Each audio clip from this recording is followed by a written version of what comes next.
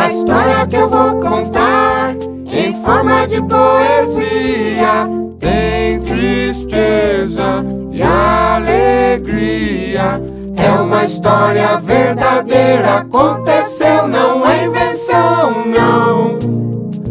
Então lá vai. Três, quatro. Era uma vez uma bailarina italiana que dançava uma dança diferente. À noite pintava o corpo de verde e subia numa árvore e ficava lá como se fosse um galho parado. Gostava de dançar assim com a natureza.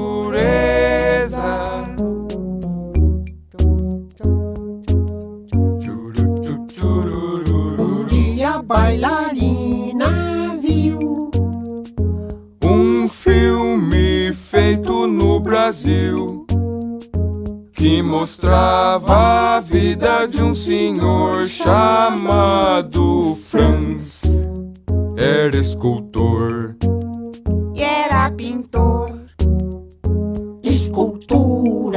Fazia com troncos e galhos. Suas tintas Fazia misturando terras de cores diferentes. Gostava de pintar com a natureza. Gostava de pintar com a natureza. O tio Franz gostava de subir o rio e ir passear na floresta.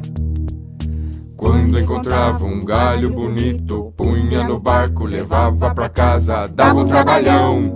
Tinha um quarto enorme, cheio de galhos e troncos que trouxe das viagens. Tinha muitos galhos queimados. No Brasil ainda tem muita gente que queima uma floresta inteira só pra plantar capim.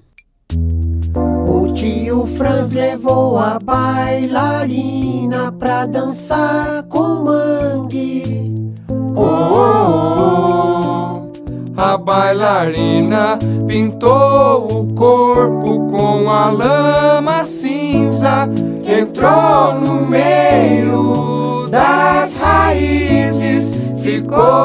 dançando, sentindo a água chegar, ouvindo as árvores estalando e o barulhinho dos caranguejos, cor de vinho, limpando a linda lama cinza do manguezal.